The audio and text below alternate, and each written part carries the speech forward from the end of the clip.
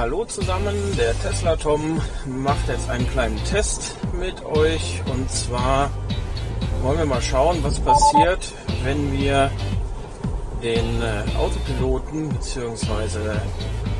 den Fahrassistenten aktiv geschaltet haben und dann die entsprechenden äh, Anforderungen, das Lenkrad zu drehen, ignorieren.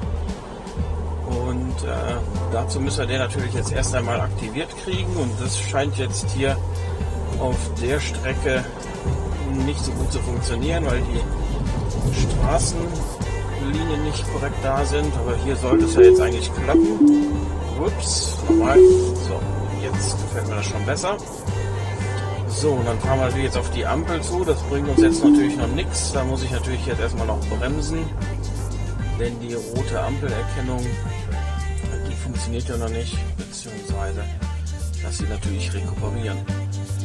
So, jetzt müssen wir nochmal warten. Bis es wieder grün wird. Weiter geht's. Dann 30 Stundenkilometer und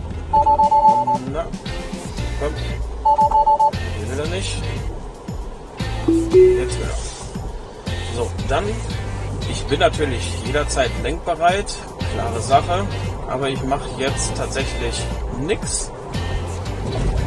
Lass ihn jetzt hier in die Kurve fahren. Das macht er auch anstandslos.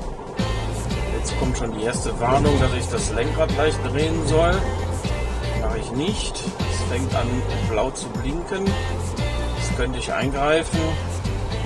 Mache ich aber nicht. Kommt die erste Warnung. Leicht drehen. Mache ich immer noch nicht.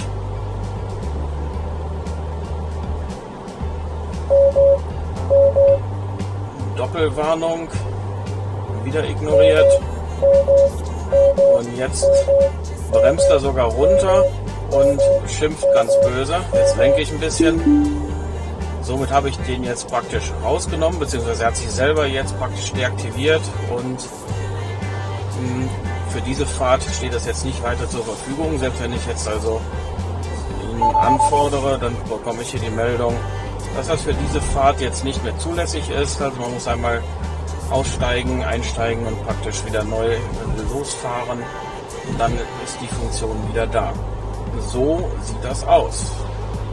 Ich hoffe, das hat euch geholfen. Ihr müsst es nicht nachexperimentieren. Habe ich jetzt für euch gemacht.